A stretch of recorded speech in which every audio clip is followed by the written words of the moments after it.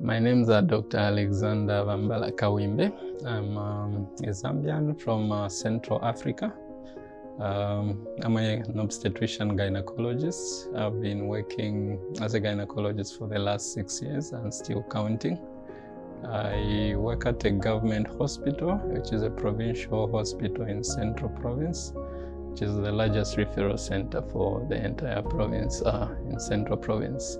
The training here at Indira IVF has been good, and what I liked the most was the structured way of um, uh, instruction, beginning with the basics, regardless of your background, and uh, building you through to uh, simulation practice before assisted practice, and then um, independent practice of the various aspects of ART and IVF.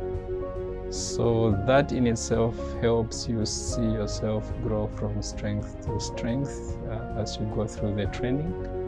And um, coupled with that, I think the trainers or the mentors, the teachers have been very dedicated in helping uh, trainees learn the basics, learn the principles, learn the protocols. What I liked most about uh, this whole training was uh, uh, the time we spent with our mentors or our lecturers, uh, the doctors working here, in explaining every bit of uh, what was going on, and also the time we spent on ultrasound. For me, that has been the most interesting part because before I came here, I was never doing ultrasound except in a few rare circumstances. So I learned quite a lot uh, with that.